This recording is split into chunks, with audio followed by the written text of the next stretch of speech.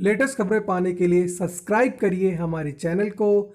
दबाइए इस घंटी के बटन को, पाएँ लेटेस्ट खबरें सबसे पहले। जगन्नाथ रथ यात्रा। जगन्नाथ पुरी मंदिर से जुड़े इन रोचक तथ्यों के बारे में शायद ही सुना होगा आपने। हिंदुओं की आस्था का एक केंद्र भगवान जगन्नाथ की जगन्नाथपुरी है। दसवीं शताब्दी में निर्मित यह प्राचीन मंदिर चार धामों में से एक धाम है। क्या आप जगन्नाथ जगन्नाथपुरी मंदिर के इन अनजान तथ्यों के बारे में जानते हैं? नहीं तो तैयार हो जाइए अपने दांतों तले उंगली चबाने के लिए ये बातें हैं ही इतनी हैरान कर देने वाली।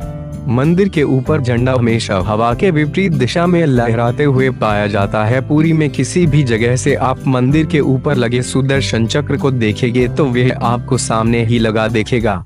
सामान्य दिन के समय हवा समुद्र से ज़मीन की तरफ़ आती है और शाम के दौरान इसके विपरीत, लेकिन पूरी में इसका उल्टा होता है।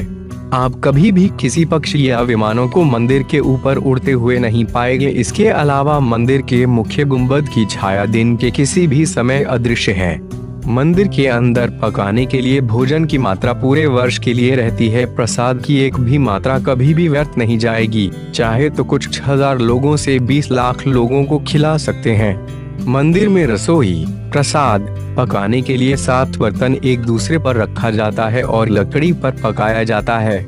इस प्रक्रिया में शीर्ष बर्तन में सामग्री पहले पकती है, फिर क्रमश नीचे की तरफ़ एक के बाद एक पकते जाती है।